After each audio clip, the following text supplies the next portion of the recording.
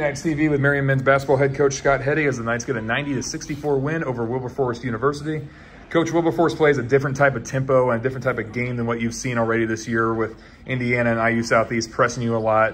A lot of different defensive pressures that they were giving you and gave you guys fits in the first half, just one for 10 for three that led to it. You guys trailing by three, but second half, you guys really started to pick it up. There was a 20 to four run led by Brody and Gus. Uh, really good second half, and uh, I'm sure you're, that's where you're taking into this weekend's Classic. Yeah, you know, give them credit. I thought they played really well in the first half. Um, we, uh, you know, we really kind of had trouble guarding them, you know, and they they uh, they they space you out, they drive the ball, and they they've got some guys that can make plays and they hit shots. And uh, uh, you know, like you said, we didn't. You know, we go one for ten from three. I thought we had some good looks. I felt like we let you know the possessions where we weren't scoring, we weren't hitting our shots. I felt like we let that kind of affect our focus on the defensive end and and we talked about that at halftime. That can't happen. I thought our guys were a lot better in the second half.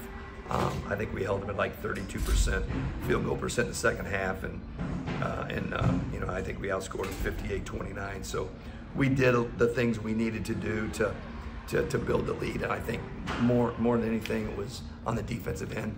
We got some stops, and um, we put some some stops together, um, and uh, I think that led to um, our offense. I thought that, that kind of led into some good offense. So I give our guys credit. We, you know, it wasn't a wasn't a good first half, but I felt like we kind of flipped it and did a lot of positive things in the second half.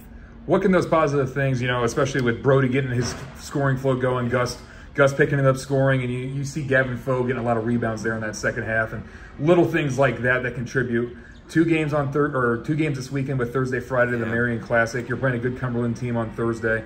What can that second half do as you go one day to prepare now for a two-day spread? Well, I think more than anything, we were able to adjust. You know, they, I mean, they're pressing every possession. They're, you know, they, they want the game up and down. They're, I mean, they were averaging 100 points coming into today. So, mm. and the positive is we held them to 64. So, um, so I, I just think that more than anything, what we can take from it is that we were able to talk at halftime, kind of figure things out, and I felt like we did the things um, much better in the second half that we we addressed at halftime. So, um, you know what I think the main thing is now we got to get some rest and and uh, you know kind of you know just our, our practice tomorrow is going to be just a lot of a lot of film work and and uh, uh, just prep you know some prep on the court and and uh, just get our guys uh, ready to go on Thursday and Friday.